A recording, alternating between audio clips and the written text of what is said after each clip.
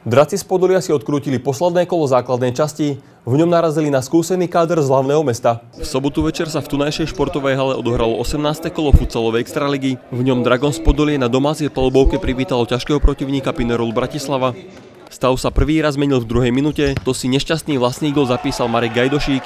Prišla štvrtá minúta zápasu a hostia sa radovali znovu. Vtedy sa po peknej akcii presadil Valdemír da Silva.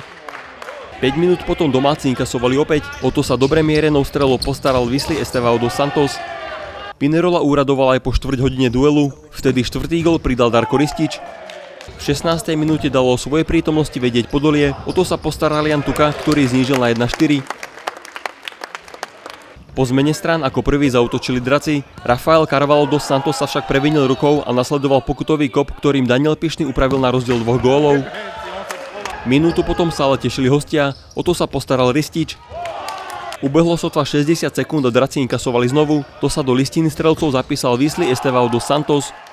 Následne úradovali bratia Bobocký, najskôr sa pekným zákrokom blisol Ivan a 5 minút potom na 3-6 skorigoval Rastio. Prešla sotva minúta a Dragon z Podolie sa radovalo znovu, to si búrlivý potlesk domáceho publika po parádnej strele vyslúžil Andrej Pagáč. V 34. minúte budovala Pinerola, vtedy skoroval Tomáš Hájek, Posledný gol padol dve minúty pred záverečným odpískaním, keď koncový stav 4-8 zabezpečil odchovanec Podolia Jozef Halás. Do dnešného zápasu sme nastúpili vlastne uvoľnení, Vlast, o nič nám neišlo. Už je, bolo jasné pred zápasom, že skončíme na poslednom mieste, tak sme sa chceli úplne uvoľniť, spasie si zahrať ten zápas, užiť si futsal. Myslím si, že všetci diváci mohli byť so zápasom veľmi spokojní, pretože boli šance na jednej, na druhej strane a za seba a za celý tým môžem podakovať teda všetkým. Aj konečne to tu v hale ožilo medzi ľuďmi, takže som rád, že sme aspoň takto jeden za druhého zabojovali. Zvedeli sme, že môžeme čakať ťažký zápas, nakoľko Podolí nemá čo stratiť a my v podstate sme hrali ešte o tú pozíciu štvrtého miesta, ktorá nám zaručuje výhodnejšiu pozíciu do play-off.